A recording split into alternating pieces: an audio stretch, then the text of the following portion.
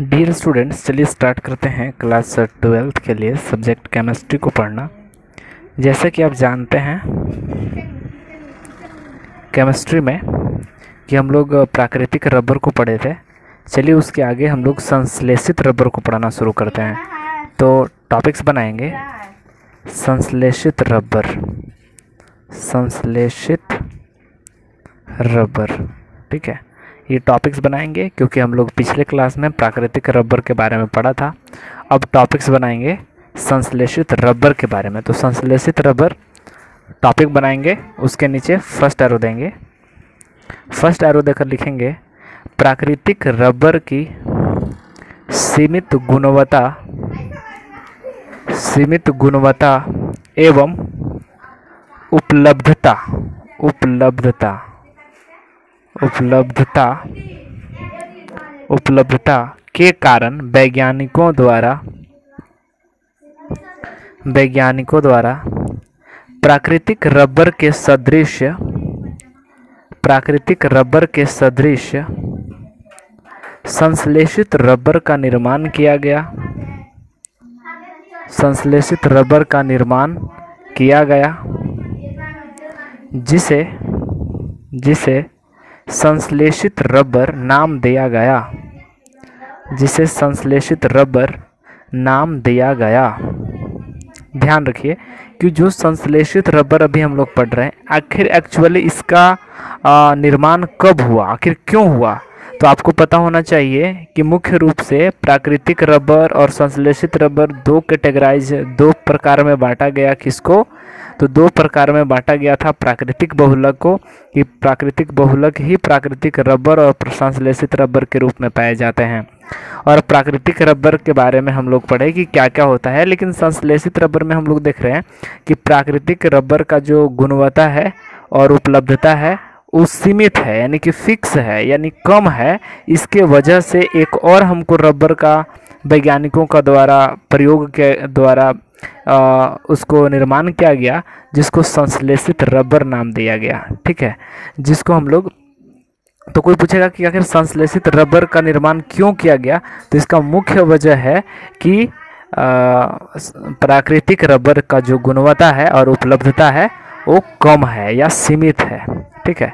तो प्राकृतिक रबर का जो गुणवत्ता और उपलब्धता है कम होने के कारण जो वैज्ञानिक हैं, वो प्राकृतिक रबर के जैसा ही एक संश्लेषित रबर का निर्माण किया, जिसको संश्लेषित रबर नाम दिया गया। तो ये सारा चीज़ अभी हम लोग लिखे। अब उसके नीचे लिखा जाए कि आखिर संश्लेषित रबर के प्रकार कितने होते हैं? तो इसके भी प्रकार होते हैं। तो नेक्स्ट एरो में लिखा जाए, इसके इसके तीन प्रकार हैं। इसके तीन प्रकार हैं। ठीक है, इसके तीन प्रकार हैं। कौन कौन से प्रकार हैं? चलिए देखते हैं। तो पहला में लिखा जाए first neoprene rubber. Neoprene rubber. पहला का नाम है नियोप्रिन रबर। दूसरा का नाम है Buna N rubber Buna N rubber ठीक है? और तीसरा में लिखा जाए।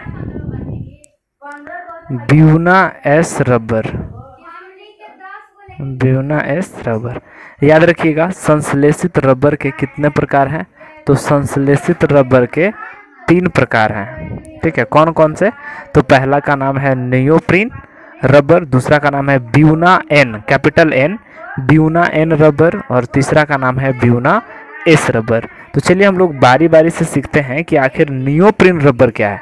तो अब हम लोग टॉपिक मेन टॉपिक बनाएँगे नियोप्रिन रबर नियोप्रिन रबर ये टॉपिक्स बनाएँगे। Neoprene rubber. अब नियोप्रिन रबर के बारे में हम लोग अलग अलग चीज़ देखेंगे कि इसका परिचय के बारे में, इसका गुण क्या है, इसका उपयोग क्या है तो इसके बारे में हम लोग नियोप्रिन के रबर के बारे में अलग अलग चर्चा करेंगे। तो सबसे पहले पॉइंट ए बनाएँगे नियोप्रिन में, उसका लिखेंगे परिचय कि आखिर नियोप्रिन रबर का परिचय क्या है। तो ए में लिखा जाए परिचय और परिचय के एरो देकर लिखा जाए, यह क्लोरोप्रिन का बहुलक है। यह क्लोरोप्रिन प्रीन का बहुलक है। यानी कि दोस्त, आप याद रखिएगा कि जो नियोप्रिन बनता है, वो किससे बनता है? क्लोरोप्रिन से बनता है। जबकि प्राकृतिक रबर किससे बनता है? तो आइसोप्रिन से बनता है। ठीक है? उसी तरीके से पूछा जाएगा कि क्लोरोप्रिन का बहुलक क्लोरोप्रिन का बहुलक कौन है? तो नियोप्रिन रबर। इसलिए लिखा गया है कि परिचय में लिखे हैं यह यह हमने कौन? Neoprene rubber. किसका बहुलक है? तो क्लोरोप्रिन का बहुलक है। ठीक है? तो याद रखिएगा, नियोप्रिन जो है, क्लोरोप्रिन का बहुलक है। अब यानी कि ये हुआ कि छोटे छोटे क्लोरोप्रिन को मिलाकर एक बहुत बड़ा अणु का निर्माण होता है, जिसको नियोप्रिन रबर कहते हैं। तो ये सबसे इम्पोर्टेंट याद रखने वाला बात कि किसके, किससे किसका निर्माण होता है? तो क्लोरोप्रिन से नियोप्रिन का रबर का निर्माण होता है। अथार्थ में लिखिएगा, उसके नीचे अथार्थ क्लोरोप्रिन का फार्मूला क्या होता है? तो C H two double bond C H single bond C के साथ क्लोरीन जुड़ा हुआ है, और double bond C H two इसकी अगर एन एटम रहेंगे एन का मतलब बहुत सारा, यानी ग्यारह हज़ार से बीस हज़ार जब इस क्लोरोप्रिन की संख्या होगी। इस क्लोरोप्रिन की संख्या एन एन का मतलब ग्यारह हज़ार से बीस हज़ार, तब जाके किसका वैल्यू का होगा हमें पता? तब जाकर नियोप्रिन बनेगा, यानी कि C H two C H double bond C C L और सी एच टू ये हम लोगों को यहाँ पे हॉल एन करेंगे, यानी कि ऐसा ऐसा बॉन्ड जुड़ा हुआ है। इसका मतलब ये हुआ कि इधर भी बॉन्ड जुड़ सकता है, इधर भी। यानी टोटल एन गो है तो ऐसा ऐसा एन ठो यहाँ पे जुड़ेगा, तब जाके निर्माण होगा किसका? नियोप्रिन रबर का। नियोप्रिन रबर ठीक है? तो कुल मिलाकर देखा जाए तो नियोप्रिन रबर का मतलब क्या है? इसका परिचय में लिखे हैं कि यह क्लोरोप्रिन का बहुलक है और क्लोरोप्रिन के ही मिलने से नियोप्रिन का निर्माण होता है। ये हम लोग ए के परिचय में सीखे। अब चलिए हम लोग बी के गुण में, नंबर बी में बनाया जाए गुण। ठीक है? अब गुण में इसके क्या क्या गुण हैं? यानी कि नियोप्रिन के क्या क्या गुण हैं? तो नियोप्रिन रबर तो टॉपिक बनाया है इसके परिचय को देख लिए। अर्थार्थ में जो करके यहाँ लिखे हैं फार्मूला के साथ वो दिखा दीजिए ताकि ये पता चलेगा कि क्लोरोप्रिन से ही किसका निर्माण होता है? नियोप्रिन का। ये एन तो दिखाया गया है कि ग्यारह हज़ार से बीस हज़ार ऐसा लिया गया है। वो उतना ही यहाँ पे नीचे नीचे देने का मतलब है कि वो बॉन्ड में जुड़ेगा एक ही साथ जुड़ेगा। तो बी में लिखा जाए गुण गुण के, के एरो लिखेंगे गुण के एरो देकर लिखेंगे इसके निम्नलिखित गुण हैं। इसके निम्नलिखित गुण हैं। किसके निम्नलिखित गुण? तो नियोप्रिन रबर के। अब इसके क्या क्या गुण हैं? तो पहला में लिखा जाए, पहला, इसका तनन सामर्थ्य उच्च होता है। तनन सामर्थ्य। तनन सामर्थ्य उच्च होता है। इसका मतलब ये हुआ है कि ज़्यादा उसको हम लोग तान सकते हैं, ठीक है? उसको ज़्यादा तन्यता कर सकते हैं, उसको ज़्यादा फैला सकते हैं। तो किस रबर को? नियोप्रेन रबर को दूसरा में लिखा जाए। सेकेंड उच्च ताप पर भी अस्थाई रहता है। उच्च ताप पर भी अस्थाई रहता है। यानी कि यहाँ पे हम लोग देख पा रहे होंगे कि जब हाई टेम्परेचर यानी कि उच्च ताप रहेगा, तब पर भी इसमें कोई चेंजेस नहीं आएगा नियोप्रिन रबर में। यानी कि जब हाई टेम्परेचर देंगे, फिर भी ये क्या होते हैं? अस्थाई रहते हैं, फिक्स रहते हैं। ठीक है? चलिए थर्ड नंबर थर्ड नंबर यह प्राकृतिक रबर से मज़बूत रहता है। यह प्राकृतिक रबर से मज़बूत रहता है। तो तीसरा पॉइंट हम लोग इसका गुण में लिखें कि प्राकृतिक रबर से स्ट्रोंग होता है कौन? नियोप्रिन रबर तो याद रखिएगा नियोप्रिन रबर जो है, प्राकृतिक रबर से भी मज़बूत होते हैं। ये लिखें तो हम लोग पहला इसका परिचय देखें, गुण देखें नियोप्रिन का। अब लास्ट हम लोग इसका सी पॉइंट उपयोग के बारे में चर्चा कर लेते हैं। तो उपयोग लिख के सी में उपयोग लिखकर एरो देंगे। उपयोग में एरो देकर लिखेंगे कि नियोप्रिन रबर के उपयोग निम्नलिखित हैं। नियोप्रिन रबर के उपयोग निम्नलिखित हैं। पहला पहला, इसका उपयोग इसका उपयोग विद्युत रोधी तार के निर्माण में किया जाता है।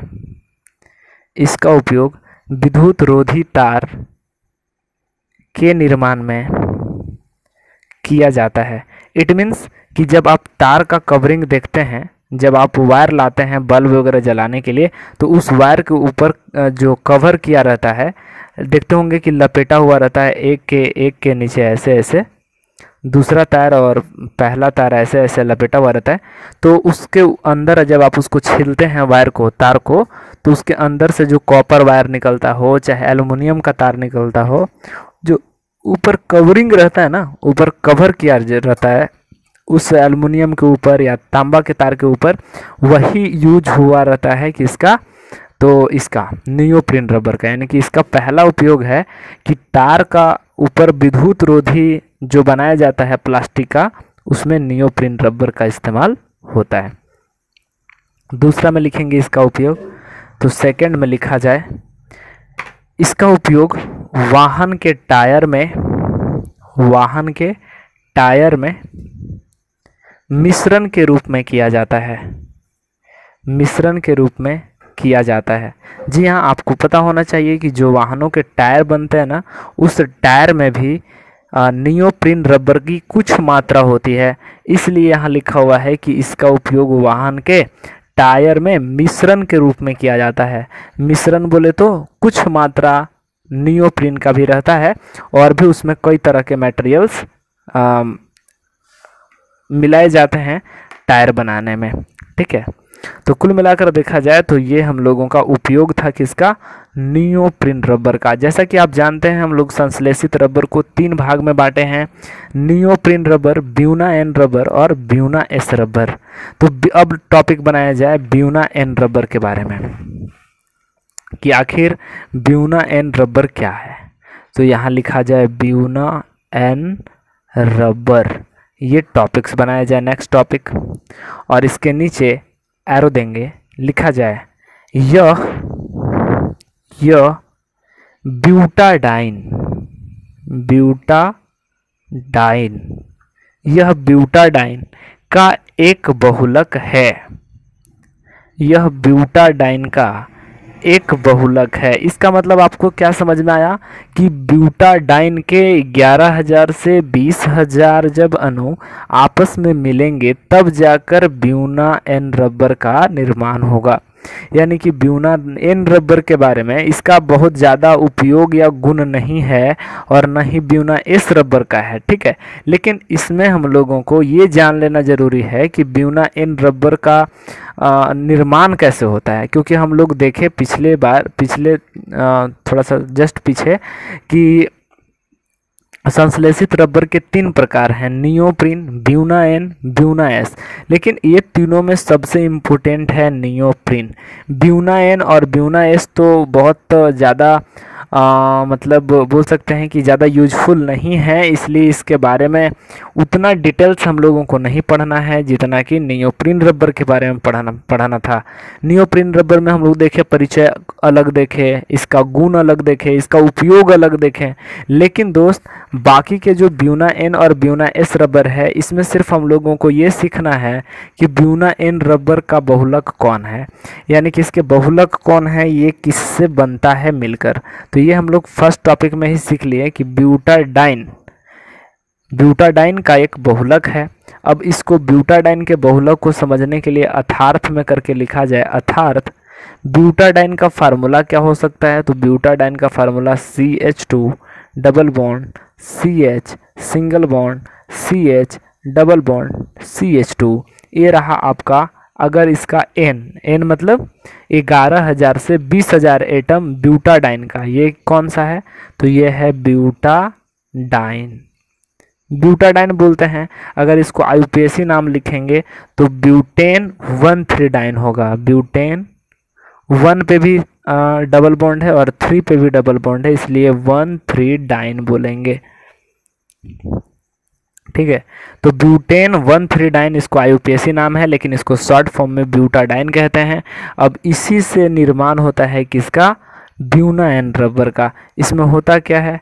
तो C H two C H C H C H two ऐसा ऐसा कितना एटम एन एटम अगर यही ग्यारह हज़ार से बीस हज़ार, यही ब्यूटाडाइन आपस में अगर जुड़ जाते हैं, तब ये ब्यूटाडाइन नहीं रहेगा, ये ब्यूना एन रबर बन जाएगा, ब्यूना एन रबर।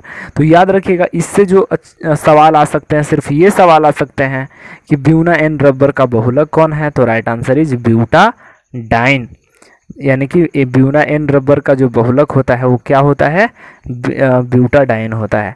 उसी तरीके से दोस्तों, ब्यूना एस रबर भी है, इसका ज़्यादा हम लोगों को डिपली नहीं पढ़ना है।